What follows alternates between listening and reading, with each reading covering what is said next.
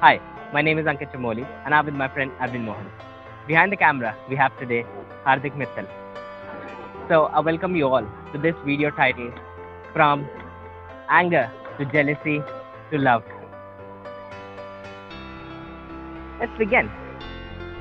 Now, let me tell you one thing. I call it the life pyramid.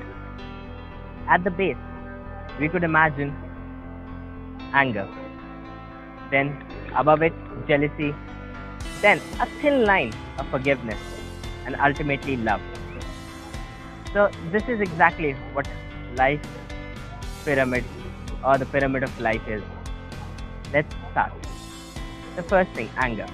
Now, anger is something that is a predicament situation in today's world. People are trying to control it, trying to repress it, but they are not getting anywhere. Anger has become something which is like everybody's trying to cure it, but nobody is actually doing the work. It is something like everybody is, they tell the other person, okay, I'm getting angry, and they, they are not going the extra mile in doing the cure for it. They are not uh, actually implement, implementing on the situations how to improve it.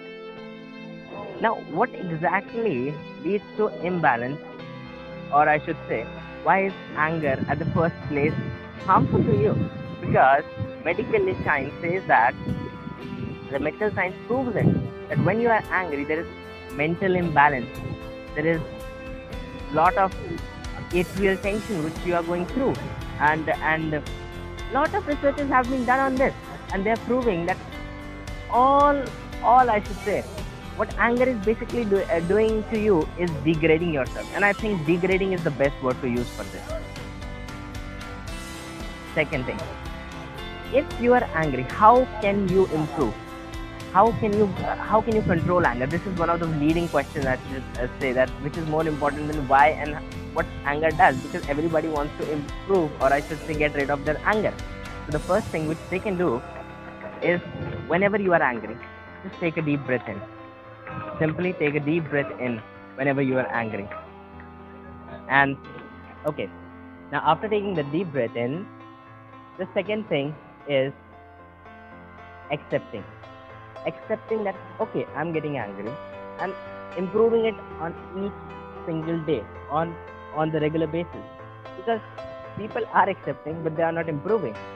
So improving each and every single day. Maybe minutely but those small small things will count at the end. The third key idea which is very important is thinking before you speak. Now in the moment of, of that anger what people speak there it's just out of their mind. They, they just speak. And uh, what happens is that which they are not thinking about and it's leading to regret. Now if you want to get uh, if you want to remove this regret then think before you speak because thinking would be very essential so these three key ideas are not simply what i am just saying. These i have experienced myself implemented and i'm therefore telling you now we are going to talk about revenge. The correct recipe to prepare revenge is anger plus jealousy. Anger and jealousy is one of the best. And it is, I should say that, this is very well known. And it's said that revenge is the best served cold. But at the end of the day, why? Why? There are so many people who are wasting their lifetime in taking revenge. What is the use of it? There's so much to do in life, there's so much to learn in life that they are wasting their whole lifetime taking revenge from somebody else, at the end of the day or at the end of their lifetime won't be of any use. And this is where people need to transcend beyond revenge. And then they should land upon forgiveness. I've earlier also said this forgiveness is the fragrance that the violet sheds on the heels that crushed it. It is very true. Forgiveness is the fragrance there is that forgiveness because that's the thin line between love. Have you ever in life, ever in life, seen a monument dedicated to anger or jealousy or hatred or anything else? No, never, ever. At least to my knowledge, there isn't any monument dedicated to it. The only monu- monument dedicated would be to love.